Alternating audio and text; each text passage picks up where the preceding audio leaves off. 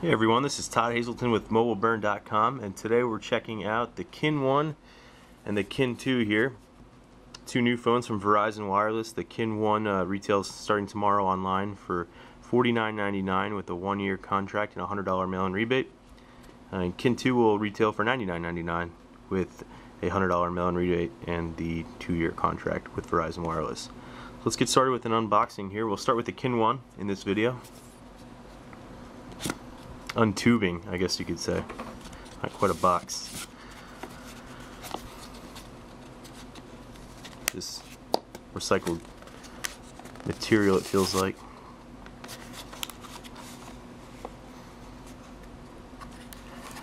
Alright, here's the phone itself. Kin 1 QWERTY messaging device. Put this aside for one sec. We'll go through the box.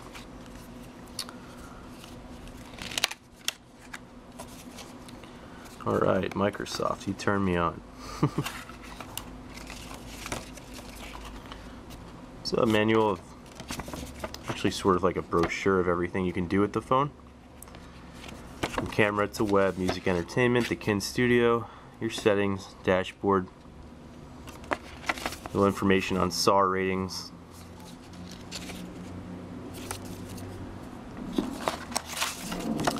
Both phones come with a 14-day trial Zune Pass. You can redeem it by going to zune.net slash kin. Otherwise it costs $14.99 a month and that gives you 10 MP3s that you can actually keep at the end of the month after uh, filling it up with unlimited music. Product safety and warranty guide. Consumer information about radio frequency emissions and responsible driving. And important customer information. That together here. The kind of accessories we have. Sharp stereo headset. You get the buds there. 3.5 millimeter headphone jack. Perfect.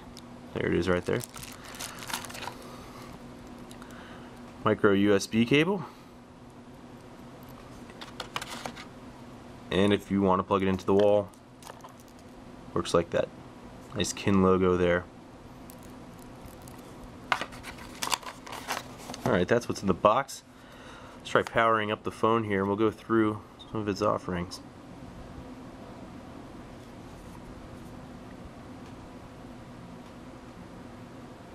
Now I've already set up the phone. When you first turn it on, uh, you're prompted to enter in your Facebook, Twitter, uh, MSN account, um, all kinds of accounts uh, so that it can automatically pull down the contents for the home screen here which you'll see is, uh, is primarily based on central networking, or social networking rather.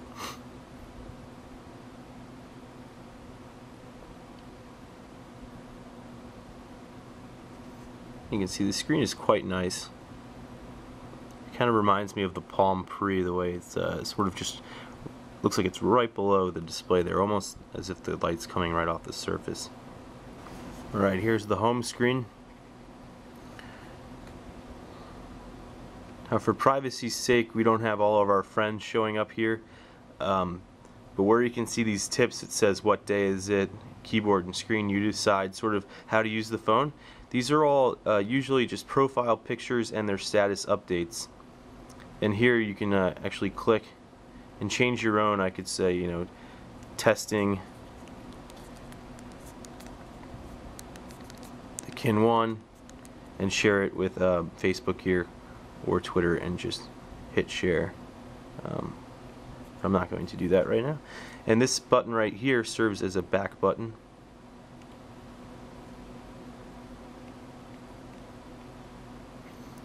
Here we have the user interface. You can see it's uh, three screens there. So this one, oh here you go. We have some of our updates coming in now from Twitter. Uh, you can see that it's their just status update and their picture. The pictures are taking some time to load. Go to the right. Favorite contacts. Here are a couple I pulled in from Facebook. You hit plus. You can go through your uh, contact list here and add one and they, and they pop up right there. So I wrote about a little bit my hands-on today. One of my biggest gripes so far is that here the phone is in your pocket, right? You pop it open. You want to make a phone call, you can't write from this screen here, and I think that you should be able to. I would like to have seen a soft button for phone call. Instead, you have to turn over here, click phone, wait for this loading screen, and then you can dial. So I thought that was a little awkward. It just would have been nice, you know, if there was a hardware key, um, which we'll get into as I move around the phone. There was a hardware key to to place a phone call or something a little quicker than you know shooting through the system there.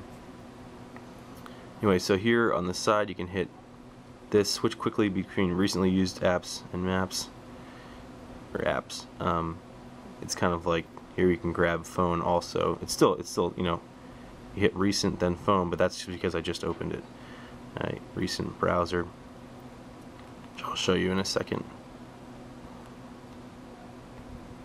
We'll go back. Okay, so here's far left here, our app screen. One thing, glaringly absent, there is not a chat application. Now for a messaging phone, it seems like you'd have AIM or G GChat or something installed, but it's not. And this is all you get. There's not an app store. So you have messages.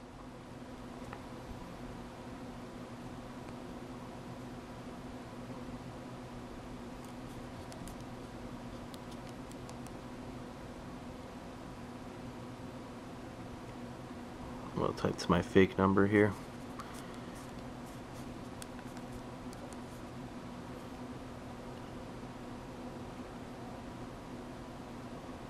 click send. Oh, it has my little avatar picture there and uh, the message went through.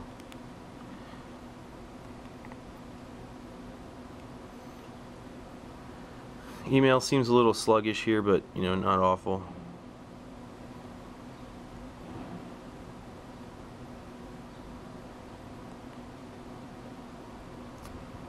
Again the, the text in display is actually pretty nice. go back that was a Gmail account I added there's a whole list of um, actually I think we can go through it here and I can show you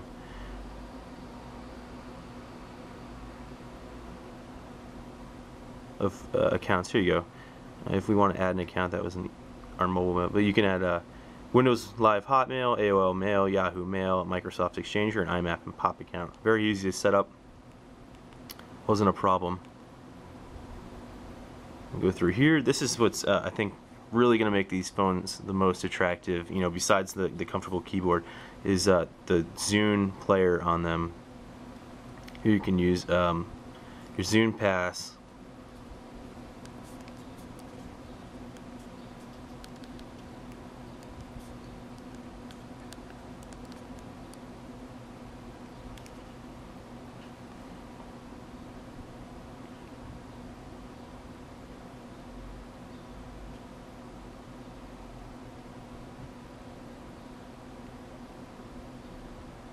So here I just found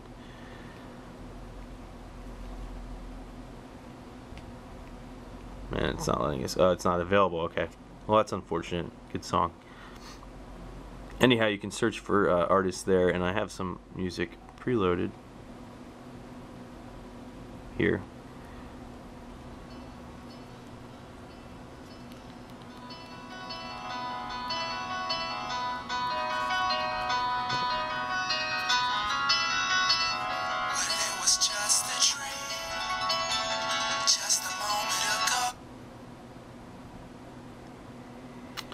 You know, definitely an awesome user interface, especially for a phone here. It's almost just like using, you know, a Zune because most of the interface is the same.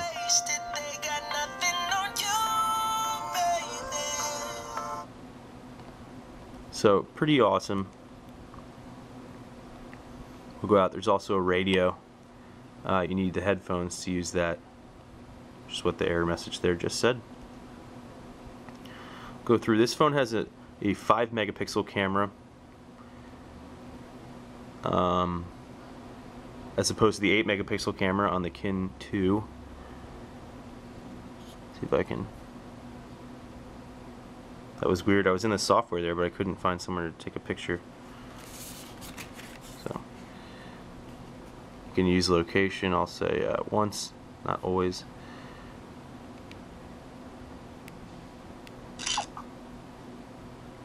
Uh, you see the flash really threw that one off.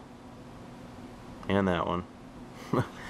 but it's dark here. Um, go back. Alarm app. Pretty simple. You can just add, you know, new alarms. Nothing crazy there.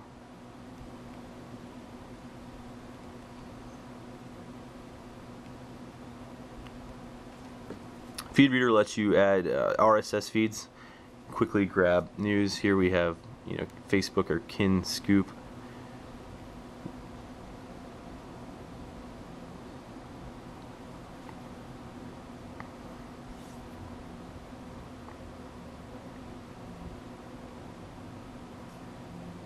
Taking a while there. Let's see if we can add our own.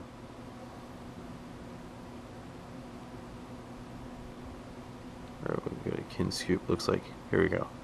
So this is the Kin Scoop feed.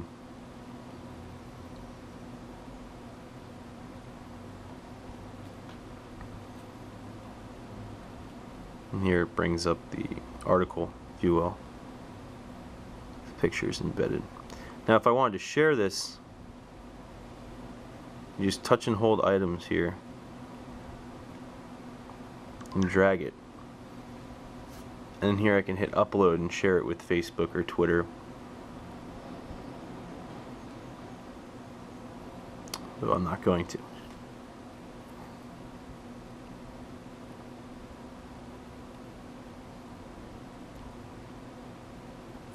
Let's see how search works here. I'm not sure if it's universal or it looks like you can search it for contacts and apps, but we got Todd. But it doesn't look like you can search the web there too. That would have been neat. Contacts. Pull this up as you go down. Here's another man. Pulls in their picture from Facebook. You can have our praying mantis picture, it looks like. And then uh, it brings in their email address or other uh, contact information that you'd already have from that contact. So it's kind of neat that you know, it's ever-changing Facebook picture. And all the pictures, here's Russell, are displayed next to each contact.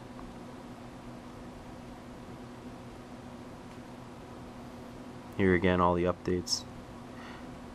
For me, it's a little too much, you know, I don't always want to turn on my phone and see everybody's update status. Um, at least with MOTOBLUR, it would sort of just display one at a time. This is, you know, sort of everybody right in your face. Um, but I think some people will like that. Alright, now before I wrap up here, I just wanted to Here's the unlock screen. Just wanted to go around and check out uh, the hardware of the phone. I didn't get to go over that just yet. Here you can see the keyboard uh, is actually pretty enjoyable to use. The keys offer good bounce. It's comfortably spaced here for bigger thumbs such as my own. You can also see it has this concave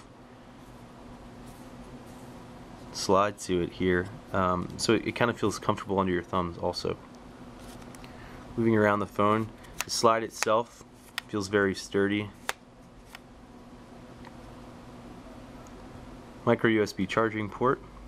Here the volume controls, little out of the way. Uh, it's actually sort of really awkward um, because when you're on the phone, they're hidden behind this, so you're kind of like trying to get your uh, behind the front display here, so you're trying to grab it with your thumb. 3.5 millimeter headphone jack that's convenient uh, especially at the top. I always like it up there because that way you can kind of push your uh, pull your headphones uh, right out of it if it's in your pocket. This is the camera button. So hold that to launch it. This is the power button. Also locks the phone Alright, nothing underneath it. Here you have the 5 megapixel camera, single LED flash. We'll lift off the battery cover here. A little latch button on the bottom. And it's not that hard to do, but with a camera, here we go. It's a bit harder to do. Alright, plastic cover, real light. Here's the battery.